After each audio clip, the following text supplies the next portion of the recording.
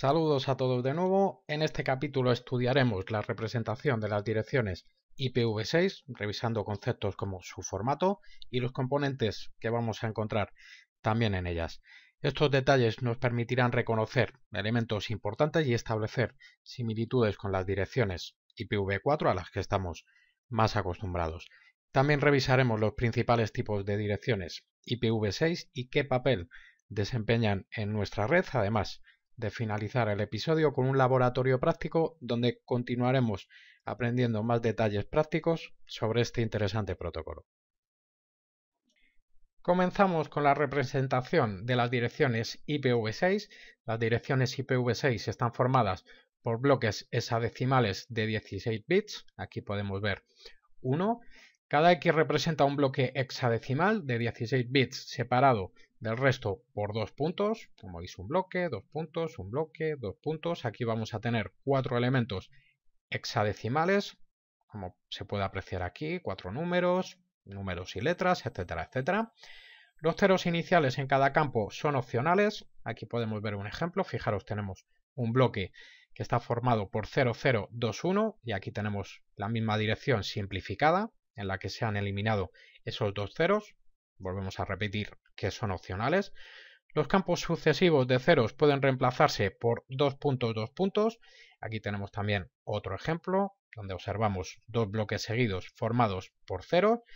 Y aquí hemos simplificado esos dos bloques por esos dos puntos, dos puntos. Estos dos puntos, dos puntos resumen todo este conjunto de aquí, estos dos bloques de aquí. Hay que comentar que esto solamente puede hacerse una vez en la dirección. Si aquí tuviéramos, por ejemplo, dos bloques también de ceros, luego un bloque normal y otros dos bloques de ceros, solamente podríamos resumir uno de ellos, un conjunto de dos bloques, de esta forma. El otro o los otros dos podríamos resumirlos en 0, 2.0 y luego ya el resto de bloques. Y además comentar que no existe distinción entre mayúsculas y minúsculas para las letras hexadecimales de las direcciones IPv6. En esta diapositiva tenemos algún ejemplo adicional de la simplificación de direcciones IPv6. Empezamos con la de la parte superior. Fijaros, aquí tenemos un bloque compuesto solamente de ceros y aquí tenemos dos bloques seguidos de igual forma. Aquí debajo tenemos la dirección simplificada. Hemos dejado los huecos para que veáis de forma directa lo que estamos reemplazando y lo que estamos omitiendo. En este caso reemplazamos ese bloque de cuatro ceros por un cero y los dos bloques del medio, en este caso también formados por ceros, los hemos reemplazado por estos dos puntos, dos puntos. Aquí tenemos debajo la dirección completa resumida, simplificada, podríamos decir. Como veis, aquí tenemos ese cero y aquí tenemos esos dos puntos, dos puntos que reemplaza todo este conjunto. Si vamos un poco más allá, vamos a poder encontrar direcciones como esta de aquí. Fijaros que está compuesta de dos bloques que tienen información, pero el resto es solamente ceros. Los seis internos, esos 6 del medio. También los podemos reemplazar tranquilamente por dos puntos, dos puntos y fijaros qué dirección más cortita nos queda. Y terminamos con esta de aquí debajo, que en este caso incluso tenemos una más resumida. Fijaros que tenemos 7 bloques formados por 0 y al final un 1, y esto lo podríamos resumir en estos dos puntos, dos puntos 1. Los dos puntos, dos puntos, volvemos a repetir, reemplazan estos siete bloques primeros que tenemos aquí y en el último caso obviamente como podemos em, omitir los ceros nos queda solamente el 1 que podemos ver aquí debajo también. Empezamos a estudiar los diferentes tipos de direcciones que nos ofrece IPv6 comenzando por la Unicast global que están formadas por un prefijo de enrutamiento global de 48 bits y un identificador de su red de 16 bits tienen un campo de su red de 16 bits para generar jerarquías de direccionamiento local, al igual que hacíamos con IPv4. Este campo permite a las organizaciones generar hasta 65.535 subredes individuales. Utiliza un rango de direcciones que comienza con el valor binario 001, representado por S2000 2.2 barra 3, con un octavo del espacio de la dirección es el bloque más grande de direcciones asignadas y el IANA asigna actualmente los rangos 2001 2.2 puntos barra 16 a los cinco registros RIR. Recordemos que RIR era el registro regional de Internet. Al igual que en IPv4 también vamos a encontrar direcciones reservadas en IPv6. Estas representan una de 256 partes de las direcciones IPv6 disponibles. El IETF Internet Engineering Task Force reserva parte del espacio de direcciones para usos adicionales. Estos usos pueden suponer nuevas funcionalidades en el futuro y también cubren las necesidades actuales de direcciones especiales. Las direcciones privadas forman un bloque separado de direcciones para necesidades locales. Su utilidad es muy similar a las direcciones privadas de IPv4. Hay que decir que no son enrutables a través de redes públicas, de igual forma también que ocurría con las anteriores. El primer octeto comienza por FE en formato hexadecimal y el siguiente dígito es un valor de 8 a F, también en formato hexadecimal, y se subdividen en dos grupos de direcciones, las direcciones privadas locales y las direcciones unicast de enlace local. El primero de esos grupos, las direcciones privadas locales, comienzan con el valor FE en hexadecimal, como hemos dicho anteriormente, y el tercer dígito está entre C y F, son similares a la asignación de direcciones para Internet privadas IPv4 del RFC 1918, cubren el ámbito de direcciones para un sitio u organización completa. De todas formas, la utilización de direcciones locales de un sitio puede resultar problemático y por ello el RFC 3879 desaprueba su uso desde 2003. El otro grupo son las direcciones unicast de enlace local, que comienzan con los valores FE en hexadecimal y continúan con un valor entre 8 y B, hacen referencia a un enlace único de la red física, son una novedad en el concepto de direccionamiento IP de la capa de red, ya que no existían hasta la llegada de IPv6, disponen de un ámbito menor que las direcciones locales de un sitio y por ello se usan únicamente para comunicaciones en un segmento de la red. Proporcionan soporte a varios tipos de comunicación de enlace, como la configuración automática de direcciones, la detección de vecinos y la detección de routers. También de igual forma que en IPv4, en IPv6 encontramos la dirección de loopback, su representación es 7 bloques de ceros 2.1, expresada habitualmente como 2.2.1 en su formato simplificado. Funciona de forma similar a la dirección loopback de IPv4, aunque a diferencia de esta solamente se usa una dirección y no un bloque. Los datagramas enviados a la dirección forman un bucle de retorno en el dispositivo y los mensajes son procesados por el sistema antes de ser enviados por la red física. Y finalizamos el estudio de las direcciones IPv6 con la dirección no especificada, que es la dirección compuesta únicamente por ceros. En IPv4 hacía referencia al mismo host y se utilizaba cuando se desconocía la dirección IP. En IPv6 el concepto se formalizó y se la denominó dirección no especificada. Su representación es 8 bloques de ceros, 2 puntos, 2 puntos en su formato comprimido.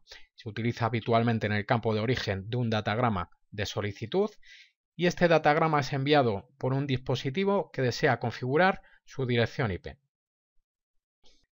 Terminamos con la parte teórica del capítulo repasando algunos de los comandos que ya vimos en el capítulo anterior y ampliando los que nos van a permitir configurar direcciones específicas, como en este caso esa del enlace local. Empezamos con el primero, IPv6 address, dirección IPv6, que configura la dirección Unicast global IPv6 indicada en la interface seleccionada. Luego tenemos IPv6 address, prefijo y EUI-64, que nos va a permitir configurar la dirección IPv6 con el prefijo indicado y la va a completar utilizando la dirección física de la interfaz. A continuación tenemos IPv6 address, dirección IPv6 link-local, que configura la dirección IPv6 del enlace local en la interface. Y luego tenemos dos comandos ya dentro del modo privilegiado. El resto era dentro del modo de interfaz, que nos van a permitir revisar, por ejemplo, la configuración, show IPv6 Interface Brief, que ya lo vimos anteriormente, que muestra información sobre las interfaces configuradas con IPv6, y el comando showrun, el clásico showrun, que muestra información sobre toda la configuración que se encuentre en ejecución dentro del dispositivo. Saludos a todos de nuevo. En este laboratorio práctico vamos a ampliar lo que hemos aprendido sobre IPv6 en capítulos anteriores. Vamos a generar una topología un poco más compleja. También vamos a ver cómo funcionan las diferentes direcciones e incluso estableceremos enrutamiento estático entre dos ámbitos diferentes. Empezamos desde el módulo de router. Vamos a añadir dos de ese modelo 2811, por ejemplo. A continuación vamos a ir a switches, vamos a añadir dos 2960, uno a cada lado. Y finalmente dispositivos finales, vamos a colocar, por ejemplo, dos aquí y otros dos a la derecha. Conectamos todo desde el módulo de cableado. En este caso, cable cruzado entre los routers, pulsamos sobre el de la izquierda, fase Ethernet 0 barra 1, al fase Ethernet 0 barra 1 del de la derecha y cable directo tanto entre los PCs hacia el switch como desde el switch hacia el router, así que conectamos también sobre la única interface del router que nos quedaba y en el caso del switch en la que queramos, en esta ocasión da un poco igual, conectamos también a la derecha y finalizamos con ese router, fase Ethernet 0 barra 0 hacia el switch. Ya tenemos todo conectado, vamos a empezar a configurar, en principio direccionamiento sobre los routers, pulsamos sobre el de la izquierda, pestaña CLI, fijaros vamos a configurar en este caso sobre el extremo de la izquierda y vamos a realizar también una comprobación en la zona de la derecha para que veáis cómo funciona esa dirección del link local. Vamos a pulsar N, pulsamos Enter para confirmar, Enter nuevamente, escribimos Enable y pulsamos Enter. Ya sabéis que después de cada comando necesitamos pulsar Enter para confirmar. Configure Terminal, empezamos con ese IPv6 unicast-routing que va a habilitar el enrutamiento IPv6 unicast de forma global en el dispositivo.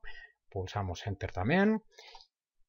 Accedemos a la interface fase Ethernet 0 barra 0, que es la que conecta con el ámbito de la izquierda.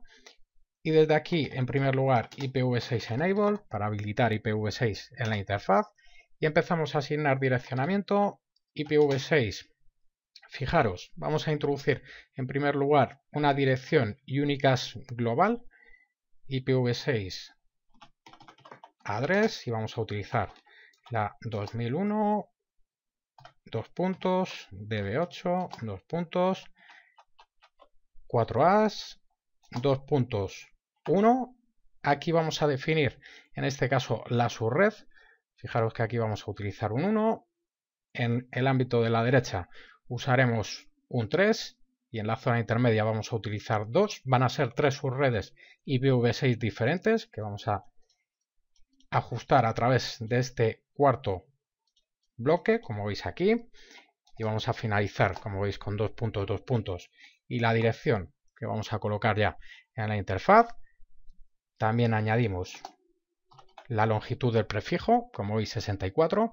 Básicamente es la longitud de estos cuatro primeros bloques y a partir de aquí iría la dirección del dispositivo que estamos configurando, al que queremos asignar esta dirección. Pulsamos Enter para confirmar.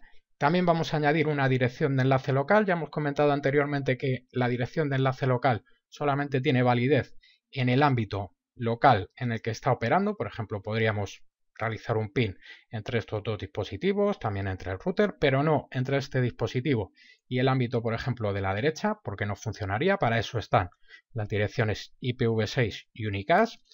Configuramos esa dirección de enlace local con IPv6 address FE80 2.2.1. Además, fijaros, en este caso podemos utilizar la misma dirección de enlace local en todos los ámbitos, por ejemplo en la subred de la izquierda y también en la de la derecha, podríamos usarla en la central, ya que no tiene validez en el resto de ámbitos, solamente en el suyo.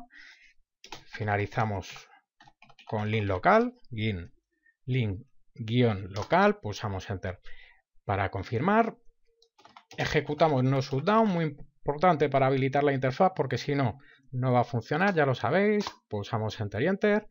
A continuación configuramos la interface que conecta con el otro router, esta de aquí, interface fase Ethernet 0 barra 1, asignamos antes de nada, habilitamos IPv6 enable, IPv6 address, como estaba comentando 2001, dos puntos, DB8, dos puntos, AAA, dos puntos, 2, 2.2.1 y la longitud del prefijo barra 64. Pulsamos Enter para confirmar. En este caso no vamos a utilizar, no vamos a implementar una dirección de enlace local porque no tiene sentido en ese ámbito intermedio. Eso sí, vamos a ejecutar el no shutdown para que funcione la interfaz. No shutdown, pulsamos Enter y finalizamos generando el enrutamiento estático. Para ello volvemos al modo de configuración de terminal con el comando exit y pulsando enter. Introducimos IPv6 root, la red a la que queremos llegar, 2001, dos puntos, DB8, dos puntos, 4As, dos puntos. En este caso, esta de aquí, recordemos, va a ser la 3, así que queremos llegar a la 3. Y fijaros que no terminamos con una dirección porque queremos alcanzar esa red, esa subred en este caso, barra 64 para definirlo. Y ya sabéis la dirección del siguiente salto, ya lo vimos al trabajar con IPv4, con el enrutamiento estático en IPv4, que en este caso la dirección del siguiente salto va a ser esta interfaz de aquí.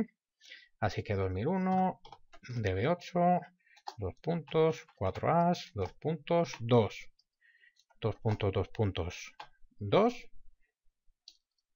Pulsamos Enter para confirmar y ya tenemos todo configurado en este router de aquí.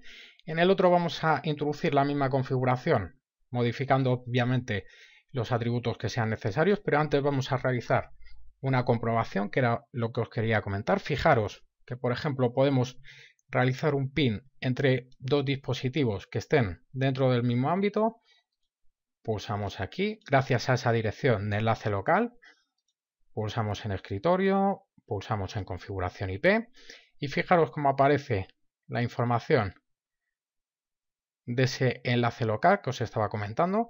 También la hemos configurado en este dispositivo, concretamente en este router de aquí.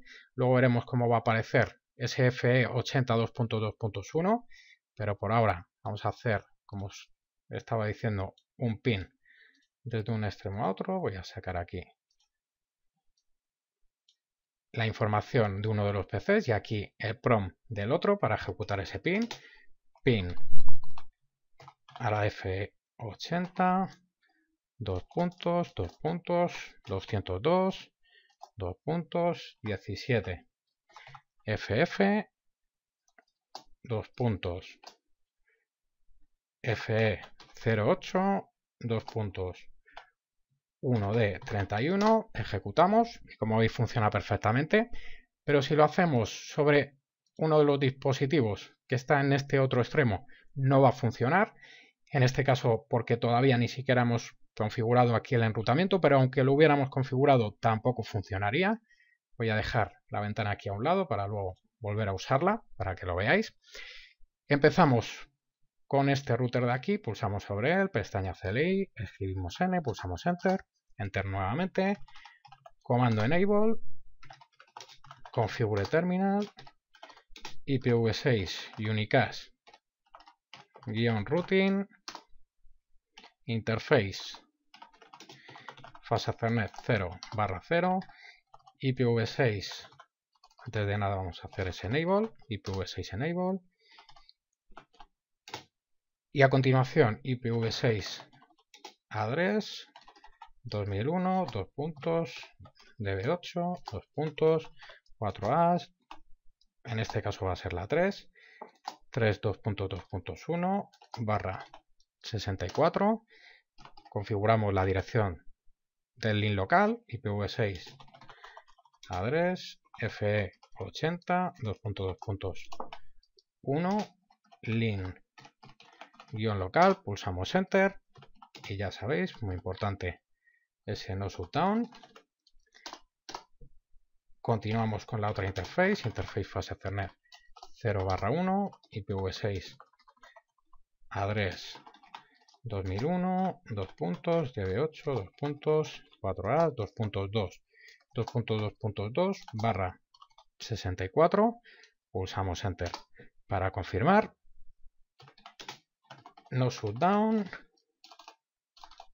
vamos a hacer también ese IPv6 enable, que no lo habíamos hecho, IPv6 enable para no tener ningún problema, salimos, volvemos con exit y desde aquí IPv6 root, en este caso la 2000, 1, 2 puntos, DB8, 2 puntos, 4A, 2 puntos, 1, ya que va a ser este ámbito de la izquierda, 2 puntos, 2 puntos, barra 64, a través de esa dirección del siguiente salto, 2001, DB8, 4A, 2 puntos, 2, 2.2.1, pulsamos Enter para confirmar y ya tendríamos la configuración realizada. Vamos a abrir uno de estos dispositivos de aquí, nos vamos a ir a la pestaña de escritorio, configuración IP, fijaros que tenemos dirección de enlace local y vamos a probar a realizar un pin. En esta ocasión volvemos a uno de estos dispositivos, concretamente a este de aquí, al PC1, y vamos a realizar un pin a este que estaba aquí, en la zona de la derecha.